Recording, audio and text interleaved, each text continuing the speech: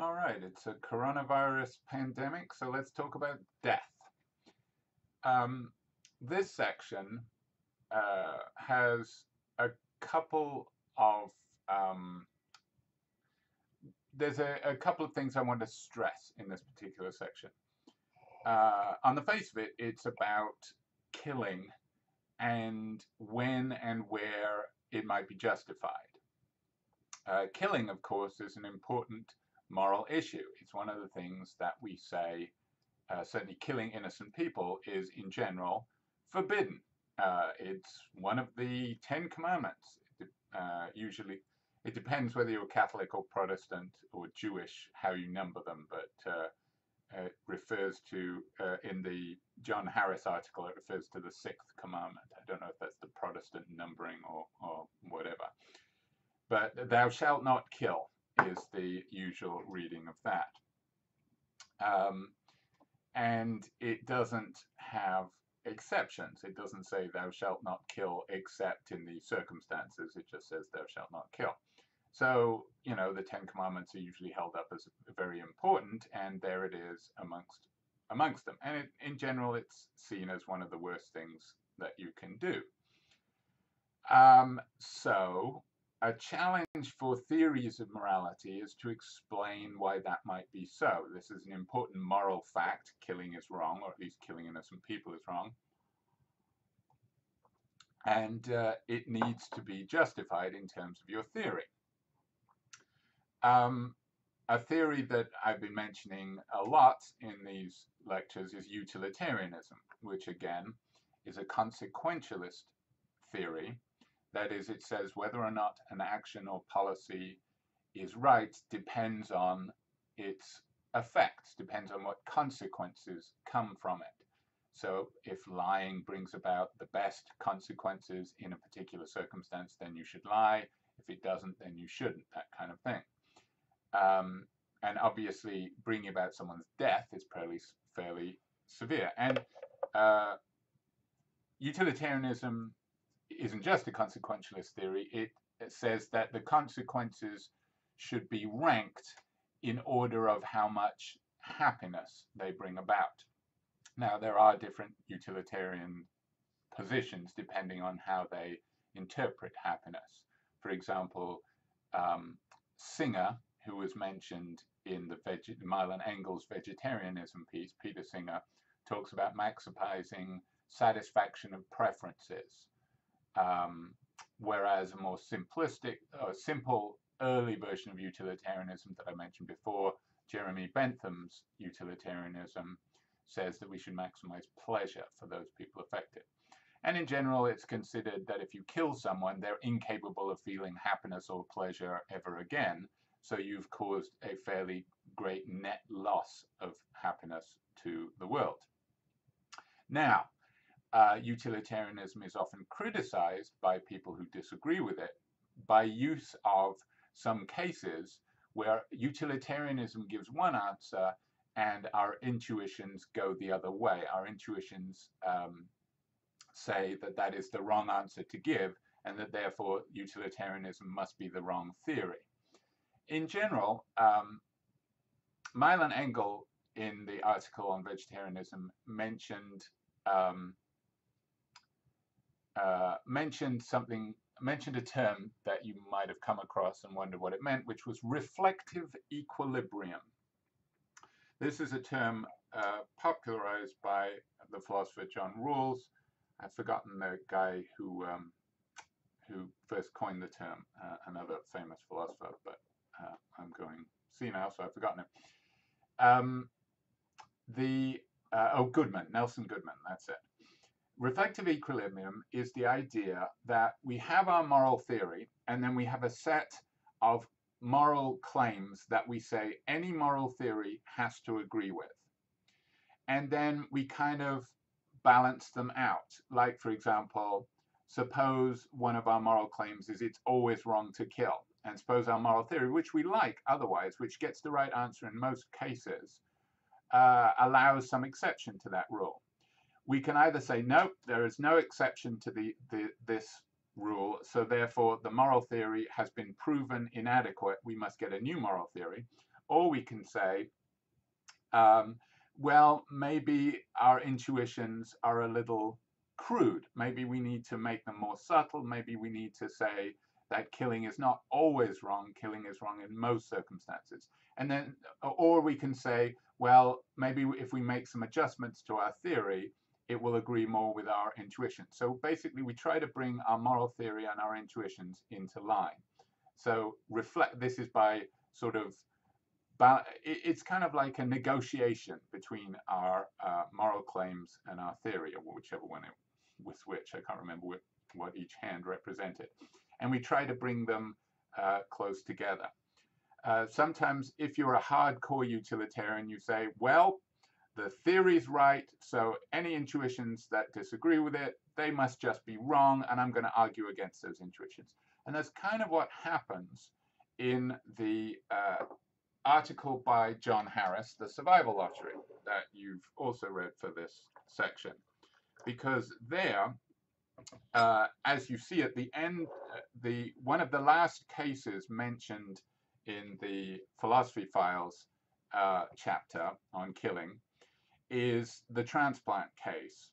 And that's what the whole of the um, uh, the Harris article, the survival lottery, is about.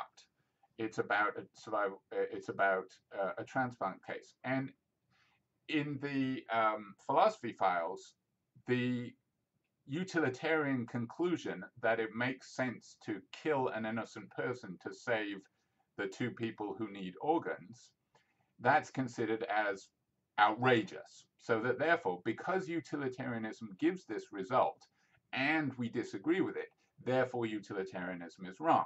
But what happens in the survival lottery is that you get Y and Z, or as John Harris would say, Y and Z, because that's how we say uh, the last letter of the alphabet over the pond, and in Canada. Canada agrees with us. It really ruins the alphabet song because it doesn't rhyme. But anyway, I'll say Y and Z. Y and Z argue back. They're the people who need um, organs. Uh, and they suggest an ingenious sort of workaround. Uh, and they challenge you, instead of just saying, oh, that's outrageous, we couldn't do that, they push back and point out, well, wait a minute, what you're suggesting isn't really any better. And what you're suggesting also requires us to abandon uh, very firmly held moral beliefs. So, you know, it's not like the right is obviously on the side of rejecting the transplant. So it's an interesting case, and it's an interesting. It's kind of a. It's a bit like when we read Berkeley, and Berkeley argues uh, that you know there are no, there is no material substance. Everybody disagrees with him, but he has pretty good arguments. Same thing's going on here, only, uh, you know, how seriously does Harris mean this? Well, even if he doesn't necessarily agree with Y and Z, he still wants to challenge our sort of smugly held assumptions about how we're we're okay, and also he wants to attack a a distinction um, that is often given that it is wrong to kill but it is not wrong to allow to die. And utilitarians in general have a problem with this distinction because, of course, utilitarians focus on the consequences of an action. And in both cases, whether or not I kill or let someone die, the consequences are the same. The person dies. Um, so there is very little uh, consequential difference between the two. The people who see a difference tend to be uh, people like Kantians, where it's what uh, it's my intentions that are important, and the intentions are, are different in the case of killing and letting and die. But utilitarians say, what what difference does it make to the person who dies? And you know that they're going to die in both cases, and you do something that is consistent with them ending up dead when you could have done something that would have meant that they were alive. Uh, what's the difference, says the utilitarian. All right, so we'll get to that in a little bit. But uh, let's start with Stephen Law, where Stephen Law starts, which is talking about the, uh, the death penalty, capital punishment. Um, Michigan has never had the death penalty. Michigan is one of the few, it might even be the only, I'm not sure, uh, but it's certainly one of the few uh, US states that never had it. A lot of states had it and uh, gave it up. And in fact, all US states that had it had it suspended for a period because the Supreme Court decided that the um, that capital punishment as practiced in the United States violated the constitutional clause against cruel and unusual punishment. I can't remember. It's one of the amendments. I don't have to know. I guess I do because I'm a citizen now, but I passed the test, so I guess I don't have to know. But uh, there is a constitutional um, rule against cruel and unusual punishment. And it was decided by the Supreme Court, which was much more liberal in those days. Uh, the, the, current Supreme Court would never do this.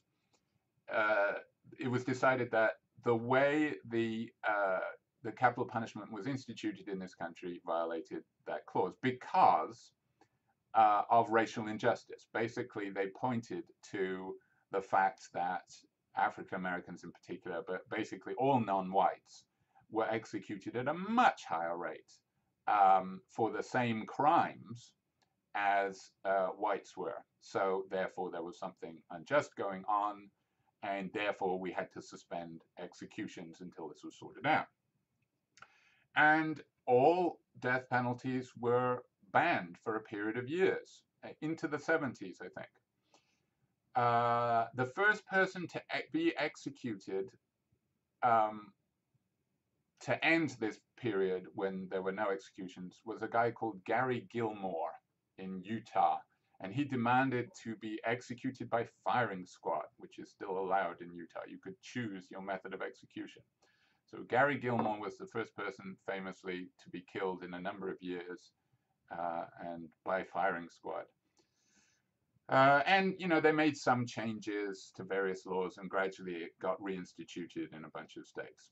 Um, but the useful thing about this is that it provided a number, a, an amount of data that you could use for, so you could look at, say, California in a period when it didn't have the death penalty and compare it with California and in a period when it did. Or you could take Texas when it didn't have the death penalty and compare it with Texas when it did. So um, you don't just you you can't just uh, compare, say, the U.S. with Canada. Does Canada have the death penalty? I don't think it does. Or or with the UK, which hasn't had the death penalty since the early 60s. Um, you you, you know, you can say, for example, we have a much, much lower murder rate in the United Kingdom than uh, we have over here in the States, uh, which is kind of damaging to the claim that having the death penalty deters people from committing capital crimes because the death penalty is attached to murder in the United States, not in Britain, and yet there are many more murders in the United States. What people could say is, uh, oh, you can't compare the two. There's different populations in the United Kingdom and, and America. But if you're comparing California to California, you can't really uh, make that excuse because it's the same state. And it turned out that there was no evidence to show that the death penalty was any deterrent. And some people argue, in fact, it was the opposite. Uh, but anyway, death. That's the a little bit of historical background on the death penalty. Um, a lot of people like the idea of the death penalty, and certainly, in fact, we all do, in some respects. I think somebody put together a compilation. I noticed this because I've had I have children, and they have watched over the years many a Disney movie, and the number of times that the villain in a Disney movie, Disney movie, dies horribly is you know you lose count. Like uh, they're always falling off things like in tangled or hunchback of notre dame or beauty and the beast. They're always falling to their death. So you get to watch their screaming face as they go down. Uh, snow white the, the witch falls off a cliff and then the vultures descend slowly to feast on her the implication is Pretty grisly.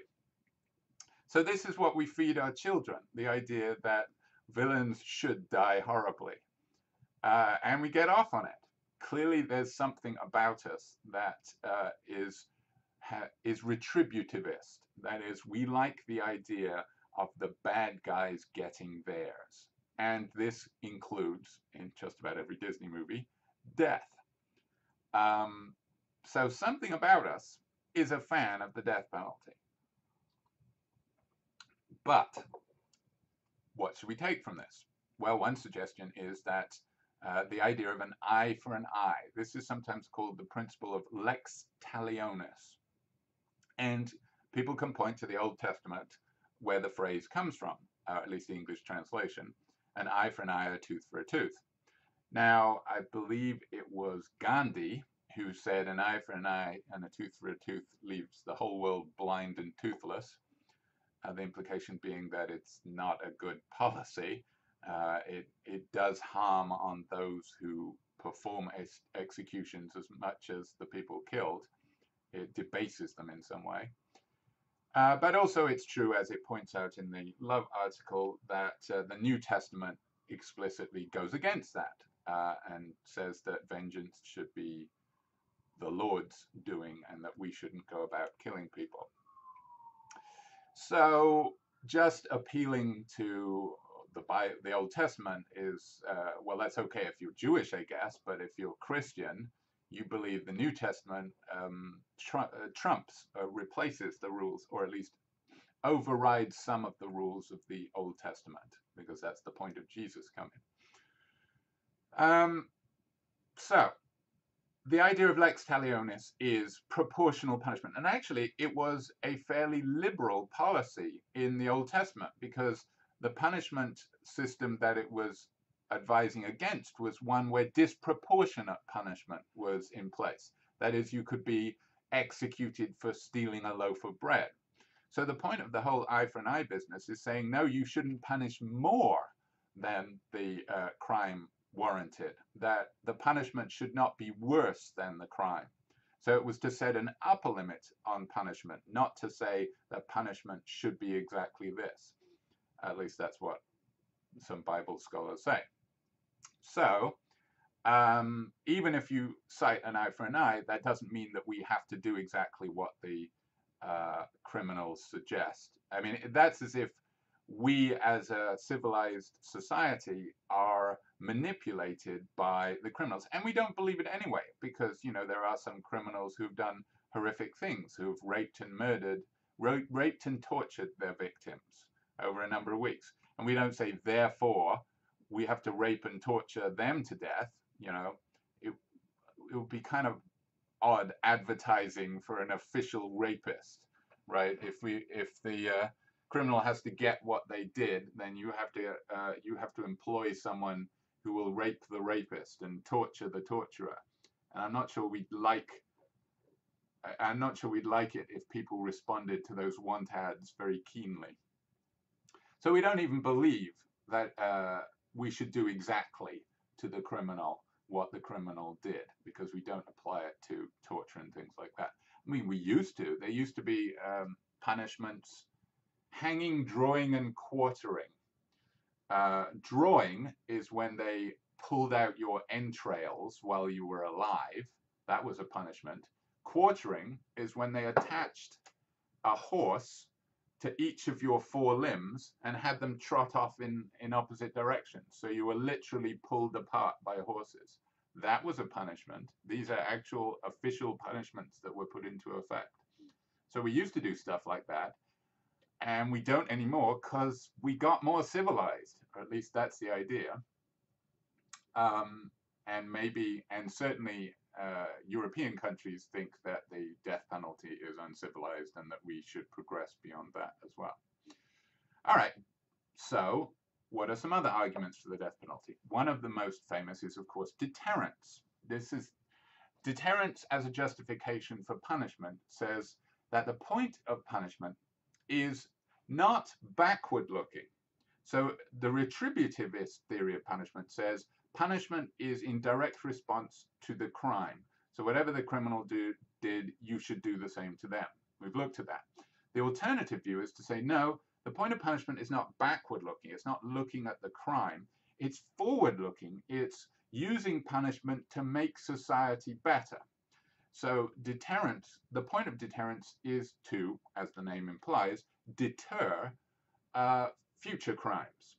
So uh, the punishment of, uh, we, we, justify the death penalty to deter um, future criminals. So we execute, you know, what it was, Dick Rotten or whatever the, the name uh, Stephen Law uses, uh, as a lesson to um, to the to the future people who are contemplating murder. It's kind of like uh, farmers putting up a dead crow to scare away other crows. You know, let this be a lesson to the crows. Uh, this is what will happen to you if you eat my crops. Um, say that's the same idea here. So now that would be a utilitarian justification because a utilitarian would say if it brings about more happiness and in terms of fewer murders, then it's justified. So if it worked, utilitarians would be all in favor of uh, the death penalty as deterrence.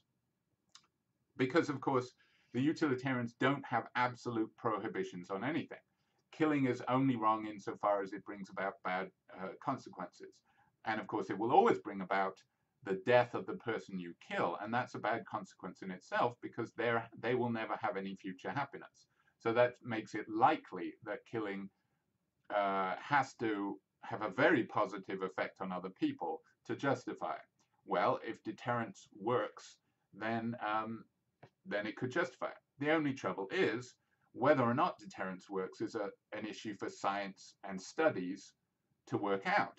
And you have to compare you know, states where there's the death penalty to similar states where there is not the death penalty and look at the murder rates and so on, which is what I was getting about to earlier, which is why the moratorium on the death penalty that ended in the 70s is very useful for people wanting to study this thing. And what do they find out? They find out that the death penalty doesn't deter.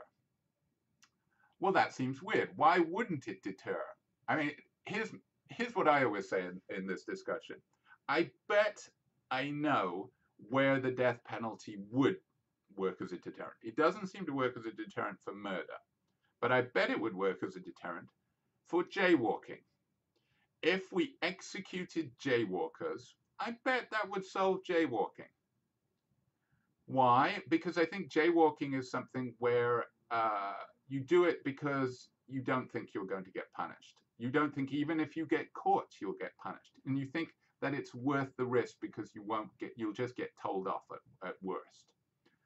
Whereas if you were literally killed for jaywalking, I think that would really affect your calculation. So I think that's where deterrence would work. But of course, then we say you can't execute jaywalkers. That's wildly out of proportion, which is where lex talionis comes in again. So why doesn't it work for murder? And I, I think what uh, Law says is perfectly commonsensical murders tend to be unplanned. They tend to be committed by, and even when they're planned, nobody plans on getting caught. So they don't think they're going to get caught. If you're doing something that serious, you know the punishment is going to be serious anyway, and you don't think, well, I'll just take it. I'll just take a prison sentence. Um, you just plan on not getting caught. And if you're not going to get caught, then the punish whatever the punishment is is irrelevant to you. Uh, now, there's some indication that um, death penalty actually makes the murder rate worse. Why? Well, maybe it's that uh, our government setting the example that killing is okay is a bad example, and it's kind of debasing on the citizens. I don't know. Who knows? These are the kind of things that sociologists and political scientists study. Okay, but one thing you can say about executing a murderer is that it will stop that murderer from ever killing again. Uh, that is certainly true. But again, um, there are other ways to stop them. There, uh, you know, you can keep them in prison. And people think that actually keeping people in prison is vastly more expensive than the death penalty. Actually, they're wrong about that. The death penalty is enormously expensive having a death penalty case can bankrupt a small district. So if you have a small uh, district and one uh, and there's a murder that becomes a death penalty case, that can bankrupt a small legal system because of the constitutional protections that allow you to appeal to the Supreme Court. Now, of course, people then say, well, get rid of, rid of the appeals. But already, with the appeals, this long process, we've executed innocent people.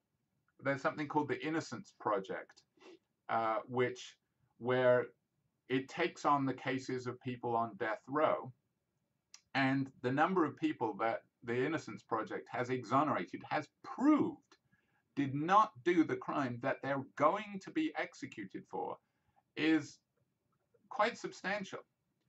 And this is even with the whole process of appeals. So it turns out we have a very flawed legal system.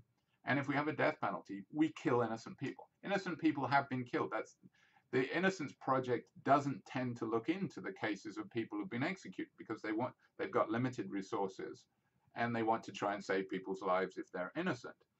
But other people have done investigation on people who've been executed and found out they didn't do it. So we've killed innocent people, and isn't that the, the, the worst thing to do? Isn't that why we think that the death penalty is appropriate? Because uh, killing innocent people is so bad. Um, all right, so that's the death penalty. In general, I I don't know what the current mood is on the death penalty. I think I think the mood is turning against the death penalty in this country. But again, it could turn the other way just as quickly. Uh, but the arguments for it, and maybe it's just because Stephen Law and I are British, and we come from a country. Uh, they've never had the death penalty in my lifetime, and I'm old uh, in the United Kingdom. Uh, it's just the idea of people being executed by the state is just bizarre to us. So maybe that's part of it. Uh, but in general, looking at the arguments, they don't seem to be good. Okay. Now, uh, after talking about the death penalty, Stephen Law goes on to talk about other cases of killing, uh, killing people. And the first one is self-defense. Now there, of course, we would say that it's not necessarily innocent people that are killed. But sometimes it can be. Sometimes uh, you can need to kill people um, in to save yourself when it's no fault of those people. And in fact, he brings up uh, several cases like this. Um, so we'll look at cases where the, uh, where you are called on to kill someone in order to save them. In, in each of these cases, it seems very likely that utilitarianism would say not only is it okay to kill the individual, but you have a moral duty to do it. You have to. You would be a bad person if you didn't do it, which is a very strong claim to make. So let's look at these cases. The first one is he calls it the Grand Vizier case, but this is actually based on a famous example given by a philosopher, a British philosopher who died about 10 years ago, Bernard Williams. Uh, and he used it as an example uh, to use against utilitarianism because he says utilitarianism says you absolutely have to uh, kill the person. So basically, the idea is uh, you're captured and you're given this opportunity. If you just shoot one of the other captive uh, other captives, the others will go free. But if you refuse to shoot them, shoot one, they'll all be killed. Now, of course, this is very unfair on you because, of course, you didn't do anything wrong. Uh, you didn't capture these people. But of course, it's even more unfair on the people about to be shot. Uh, now, what Bernard Williams says is you shouldn't be required to shoot it. You shouldn't be regarded as a bad person if you say, I'm not going to shoot anybody, with the result that far more people get killed. Because, of course, it's not you doing the killing. What a utilitarian says is, yeah, it's not your fault. Of course, it's a terrible thing, terrible situation that you've been put in. But once you're in it, you have to kill them because otherwise as a result of your squeamishness, as a result of your standing on principle, many people die who didn't have to. Again, they're murdered by somebody else, but you could have prevented it. So this is where a consequentialist theory says, if you can bring about, if you can affect the consequences and you have a chance to affect the consequences so that more people live, then you have to, even if it requires of you that you kill someone. Of course, this is going to make you miserable, presumably, unless you're some kind of sicko. Uh, you don't want to shoot anybody. It goes against everything that you stand for. But, and it's a horrible thing for your captors, the wargs, I think they are in Stephen Law's example, to make you do. But those are the breaks. Uh, and when you're in that situation, you have to do it. Uh, so again, this is sort of a challenge for utilitarianism, depending on where your intuitions go. Uh, some people say that this proves Bernard Williams clearly intended for this to show that utilitarianism just doesn't work because utilitarianism says the answer is absolutely clear. You have to kill one to save the others. And he wants to say that's not absolutely clear. Uh, second example, the astronaut, where you have to make a choice and saving one astronaut automatically kills the other. Whereas if you don't do anything, they both die. Again, this is sometimes used by utilitarians to say that killing is the same as letting die. Uh, and in fact, um, if you let both of them die, you're a worse person. So again, the utilitarian says you have to pick one it doesn't matter which one, except, well, maybe you should pick the one who's more likely to have a longer and happier life afterwards. But uh, you got to pick, and you can't just stay there and say, ah, and watch them both die. Whereas uh, somebody who's committed to this principle that uh, it is wrong to kill, but it's not necessarily wrong to allow to die, that there's a big moral difference, would say, oh, well, then it's okay to let them die because at least you're not killing anyone utilitarian says, grow up. Sometimes you have to kill people. Get used to it. Uh, it's the morally right thing to do. Um, then we have the great glue example.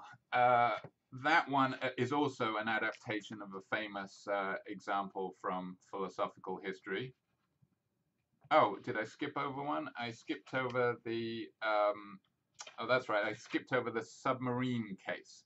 Yeah, the submarine case is where uh, a nuclear submarine is there's a fault in it and it will set off warheads, killing millions of people. Uh, and the only way to stop it happening is to sink the submarine, which will kill all the crew, which who, who have done nothing wrong and they are in fact heroes for volunteering for this dangerous mission for their country. Do you have to do it? Most people would say yes, you have to do it. Um, like, for example, uh, I don't know if you know this, you were born after 9 11, right? Probably most of you. God, that makes me feel old. Um, it, during 9 11, they mobilized the Air Force to shoot down any more passenger jets. If the passenger jets were seen to be heading for, you know, big population centers, then the Air Force was going to shoot down the passenger jets, which of course involved killing everybody on board uh, to save the cities, to save the, the more people who would die. Because of course a lot more people died in the Twin Towers than on the actual planes. So if you could have uh, and of course, Flight 93 was brought down by the hero passengers on board. So that was supposedly headed for the White House or something. And the passengers stormed the cockpit and crashed the plane, sacrificing themselves to save uh, probably thousands of people.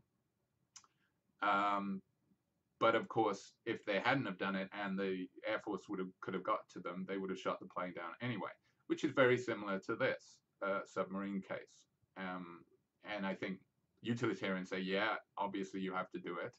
And that seems a case where our intuitions agree with the utilitarians. The great glue one is the caving example where um, who is it? Uh, some some guy gets uh, caught in the entrance to the cave. Yes, Ned gets uh, his stuck in the entrance to the cave, uh, and the water is rising, and um, people will drown. And the only way to get him out of the house, the cave, is to cut him into pieces and then remove him. Uh, now, he's not going to die. He's going to eventually get use, loose. You could dig him out eventually um, without him dying. But if you do that, the people in the cave are going to die. Um, and uh, so it's basically him or them. But you have to actively kill him. And he wouldn't die otherwise. What do you do there? Now, there, law says it's less clear because here's someone who would live unless you did something. Um, but that's true of the people in the submarine too. They would survive. The missiles would leave and start World War III, and they probably wouldn't even notice. Uh, so we've already killed innocent people in the other cases. Why is this so different? Then, of course, he brings up the transplant case, which is very similar to what's happening with Y and Z in the uh, survival lottery. So I'll get to that in a second. And finally, he leaves us with the conjoined twins. Uh, one thing Ben Carson is famous for, our current HUD secretary and former presidential candidate, is he operated on conjoined twins and separated them. And I know at least one of them died, and the other one might have uh, had um, paralysis as a result. But he he operated on that, and it's seen as a sign of his his skill. Uh, but I don't think the outcomes were great either way. Um, you could look that up. That's one of the things that he was famous for before he became a politician. He, he is literally a brain surgeon. Um, but yes, conjoined twins, is an uh, actual case where if you separate them, uh, if you don't separate them, they'll both die. And if you do separate them, one will die. Uh, now, the Catholics parents didn't want to operate because the Catholic parents were committed to the principle that it is wrong to kill, but it is not wrong to allow to die. Operating would have meant killing one of them. Uh, Jody, I think it was. Uh, or was it Mary? There were Mary and Jody, and um, Jody was bright and alert, but Mary only had a rudimentary brain. Yes, Mary gets killed and Jody survives. Uh, they did the the uh, hospital overrode the wishes of the parents and said we can't allow Jody to die just because of these parents' principles. It is our duty to save Jody, and we believe we are justified in operating and thereby killing Mary to save Jody. And they did. Were they wrong? That's the question. Um, all right, now I'm going to talk about the uh, survival lottery. And this is a very ingenious uh, thought experiment because it's an expansion of the uh, case just like the transplant case that um, that law talks about, except that instead of just accepting their fate and saying, you know, oh, of course we can't operate on on somebody we can't kill an innocent person to save you, Y and Z come up with all of these uh, suggestions. So first of all, they their first objection is that um, they uh, that there is no moral difference between killing and letting die, and that therefore uh, by not operating, you are allow you are allowing two people to die clearly by not operating. Now remember the background to this is that this is not necessarily our society where transplant cases are still imperfect. This is let's assume that transplant technology is perfect. So that it's just like having your own lungs or kidneys and or heart even and uh, they have perfectly good um, uh, survival chances that they they will live as long as the healthy person that is killed. So it's not like because of course if they have shorter lives, then a utilitarian would say, nah, the one guy was going to have more total happiness than the two of them put together because they only live a short time with their transplanted organs. Let's rule that out already and say that um,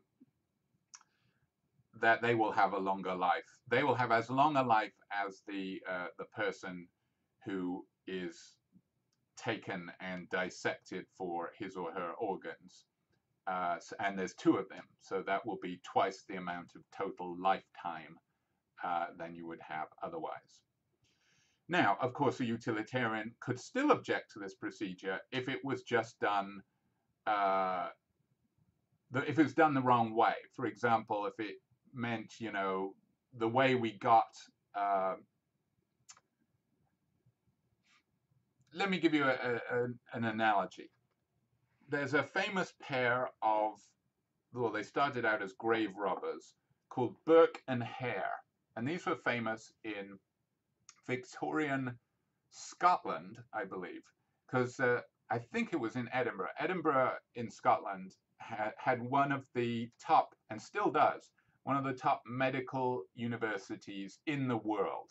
And at the time, I think it was the best and uh, they pioneered the use of cadavers in medical school because they figured that you should operate on actual humans to learn how to operate on actual humans. Now, this was very shocking and controversial at the time because it, that was seen as desecrating the dead. So it was very difficult to get hold of corpses to practice on. So there was sort of this underground uh, trade in in body snatching that they would Hare they would pay these people the, the medical school would pay disreputable characters to bring them fresh corpses. And it started with grave robbing. So Hare would hang around after the funeral wait till it got dark and dig up the freshly buried corpse and sell it to the medical school. But then they went on to they couldn't get enough corpses that way. So they started killing poor people you know hanging around in in uh, slums and basically finding people that nobody would miss and bumping them off and providing them as very fresh corpses.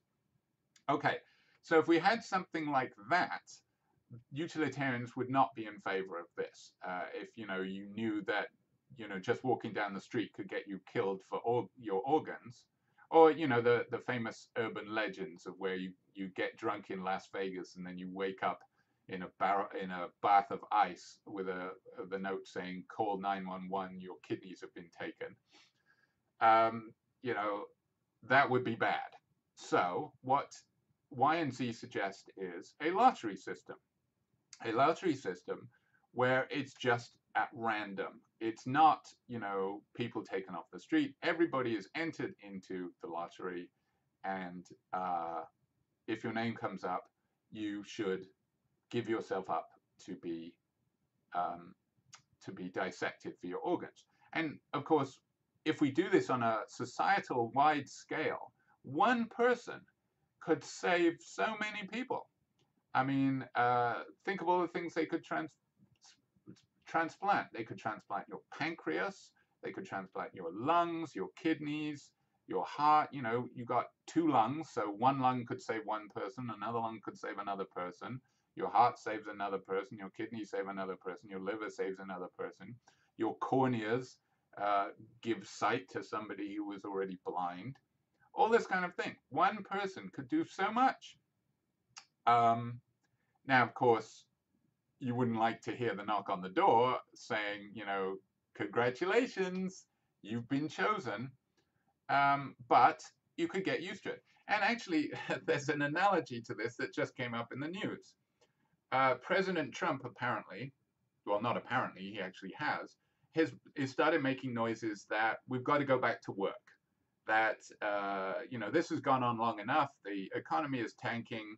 We're going to go back to work. After three weeks, he said, we're going to review it. He says, we mustn't have the cure for the coronavirus be worse than the disease. The cure being the stock market going, I'm sorry, the worse being the stock market collapsing.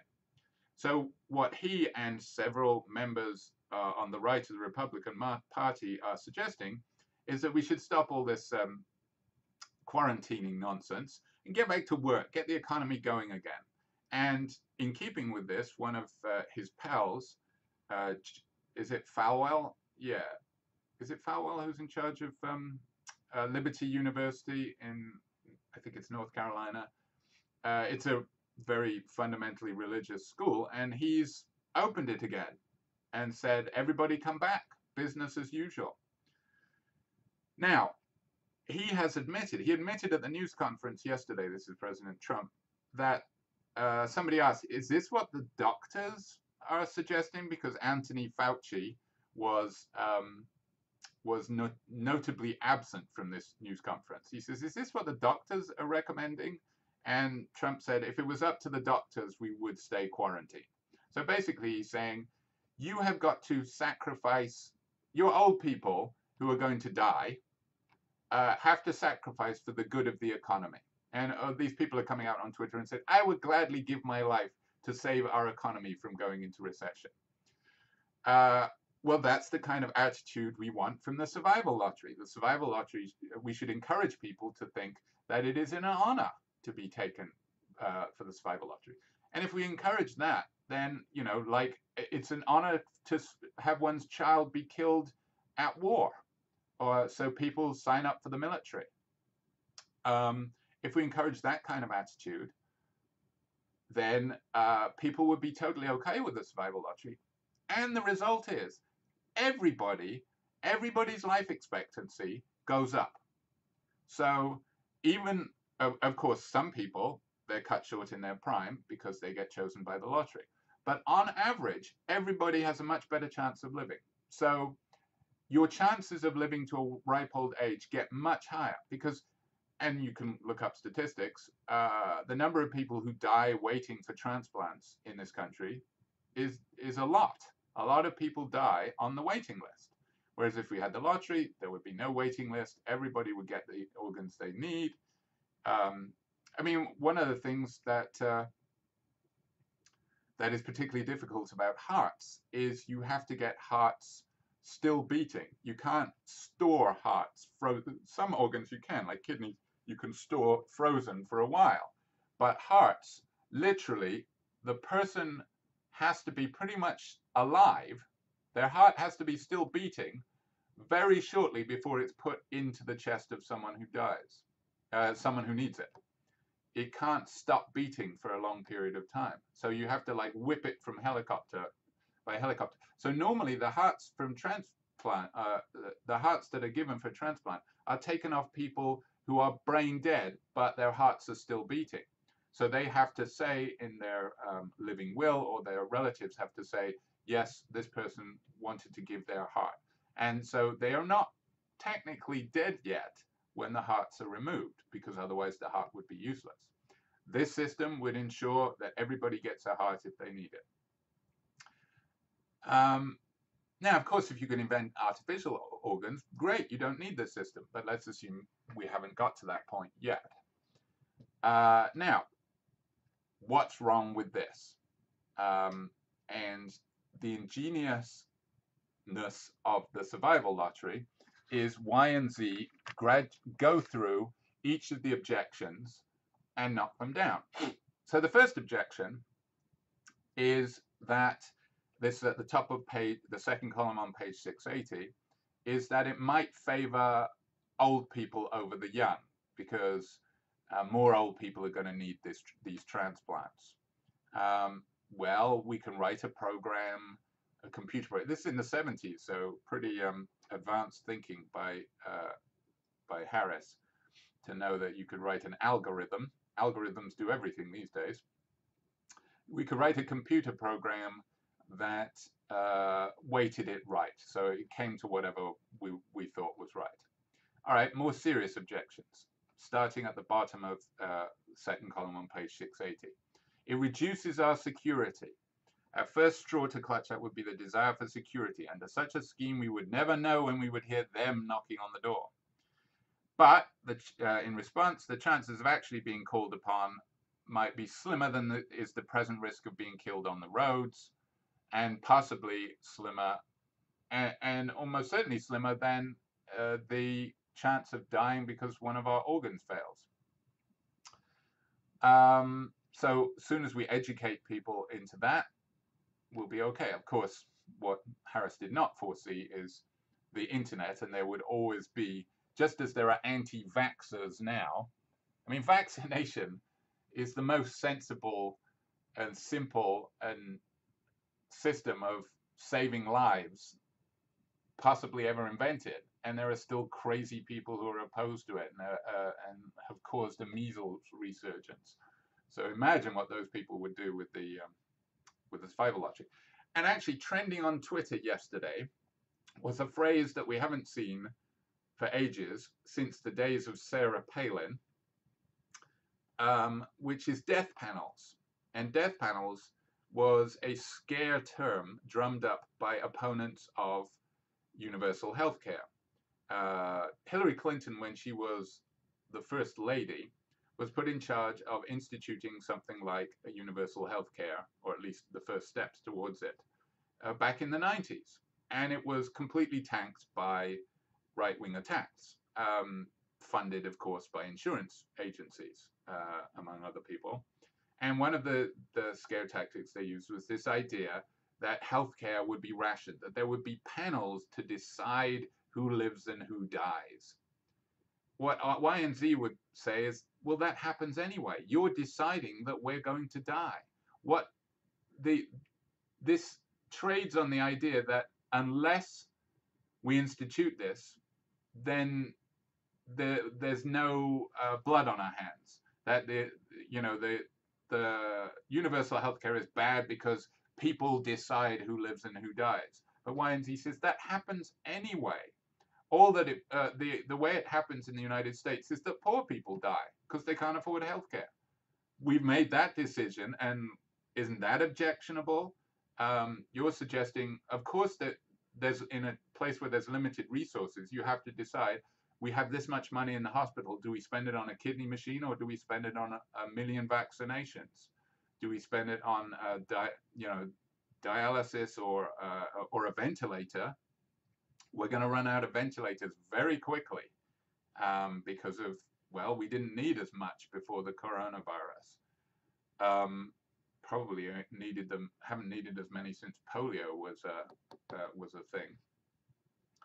But uh, you have to make rationing decisions. That's just a fact, and nobody can avoid it. The only way you think you're avoiding it is if you say, well, if we just let everyone die, then we won't have any blood on our hands. But uh, if you um, attack the distinction between killing and letting die, then you can't, uh, you, you can no longer claim to be free of making decisions that kill people. Second claim, we should not play God. Um, well, this is always an odd claim. People throw this around. What do you mean playing God? Uh, we, is making any decision that affects who lives and who dies uh, playing God? Well, then vaccinating people is playing God. Getting medicine is playing God. Uh, having glasses is playing God because God made me with bad eyes, so clearly God intended me to go stumbling around not being able to see uh, and you are playing God if you do anything to counteract this. Nobody believes that. So this playing God is too uh, vague a concept. You have to be narrower. You have to say exactly what kind of playing God is bad and why is it bad. Um, yeah, any transplants is playing God, but we do transplants all the time. Uh, third one is the important one. Killing is worse than letting die. There is a diff. This is uh, halfway down page first column on page 681. But um, in response, this is just to assert this is no good. You have to say why killing is worse than letting die. Um, and isn't inaction just a, a course of action? Um, the next article after John Harris that I didn't uh, that I didn't have you read by James Rachels contains a very famous argument against this distinction, uh, and it's in the context of euthanasia, because euthanasia or mercy killing uh, is where the distinction between killing and, letting die really comes up because um, if you have someone brain dead on a ventilator, uh, can you unplug them? Some people say no. If you unplug them, you're killing them, but you can let them die. Well, what does that mean? Letting them die means possibly not feeding them. Uh, and what Rachel says is that's much more cruel than simply uh, terminating them.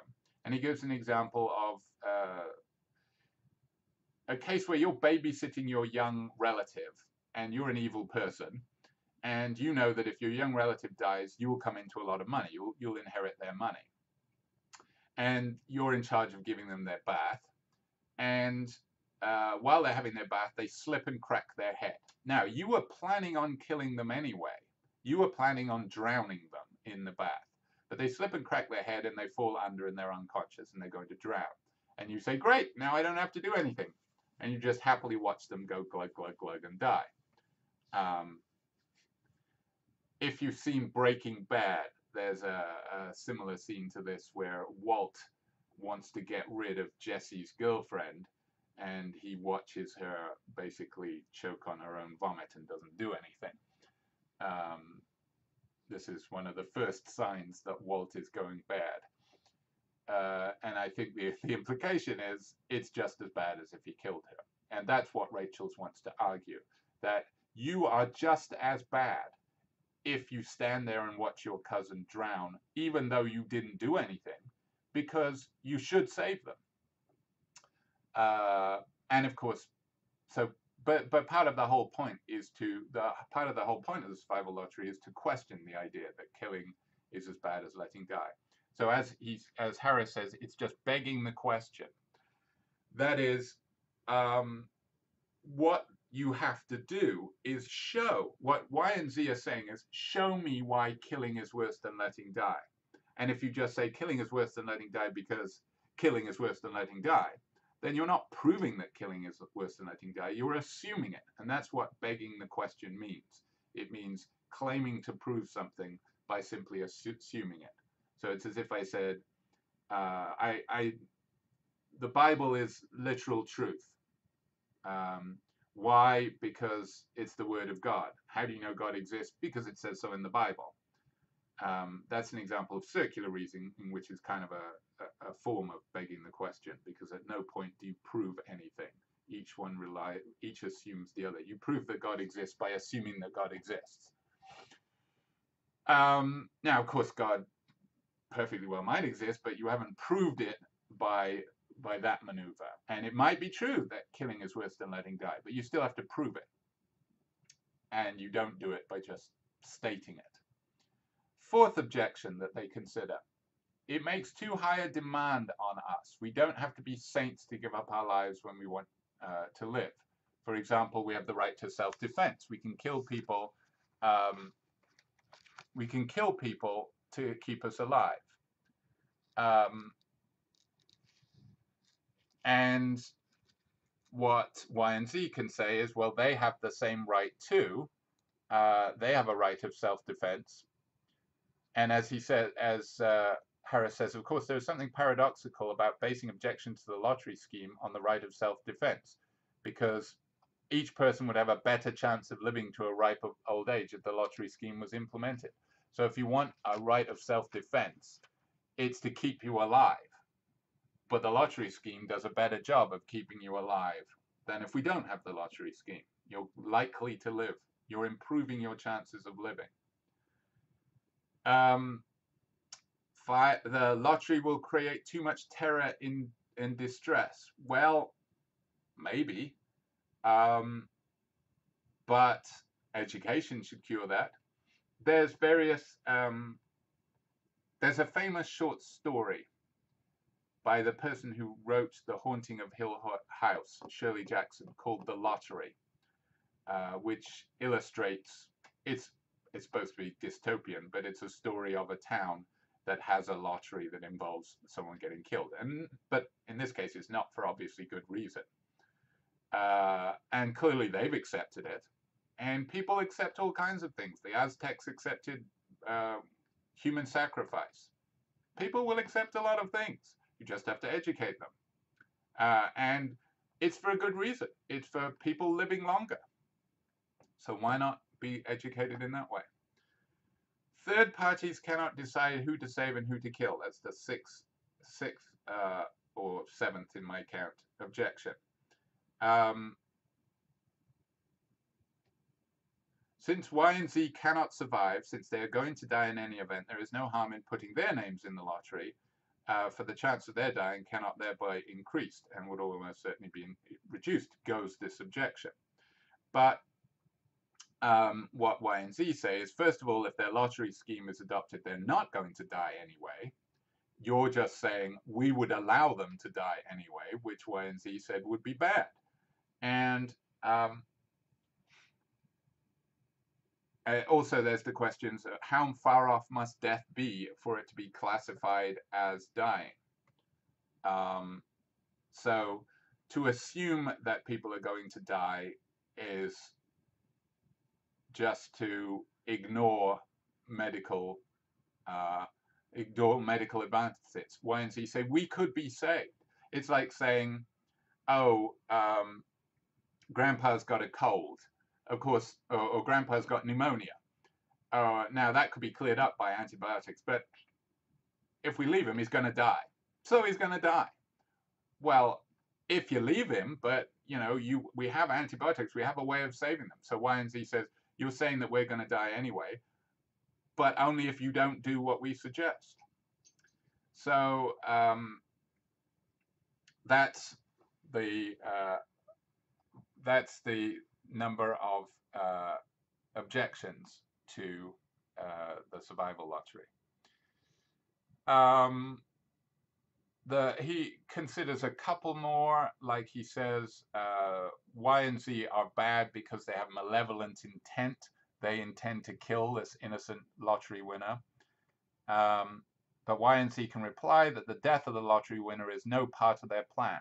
They merely used they, they merely wish to use a couple of his organs, and if he cannot live without them, that's not their fault.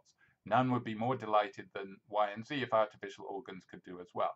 So their, their, their intent is not to kill him. Their intent is just to, for them to survive, but it might require killing. Just like uh, the cave example, the caving example. Um, we should kill the guy who's blocking the hole we don't want to kill him, and that's not our intent. We're not doing it because we want to kill him.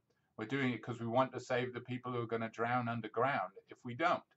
So you can't call us evil for wanting to do this. We're only doing this because it's the way to save people. Uh, last one is the principle of common decency.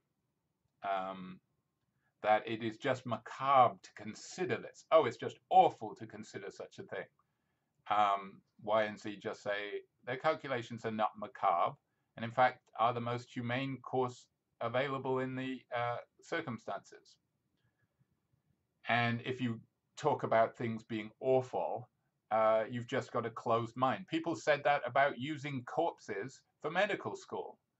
Uh, that's why Burke and Hare managed to get their trade going because people were said, "Oh, it's just disgusting allowing corpses to be cut up by medical students. Oh, we can't have that.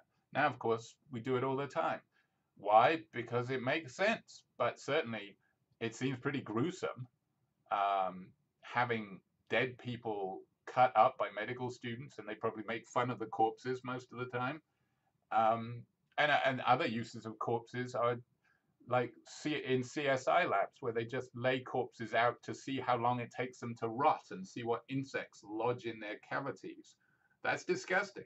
But we allow it because it's useful and it allows us to solve murders because we then work out because the corpse had this particular bug in it, that bug only arrives after three weeks. So the, the uh, corpse is at least three weeks old. That seems to be a very undignified use of a dead person. But hey, it's a good effect, and that's what Y and Z would say about this. Just because their idea makes you squeamish that's not an argument against it. All right, so a couple of interesting readings there, and we will talk more about death next time when we read Judith Jarvis Thomson's article on abortion.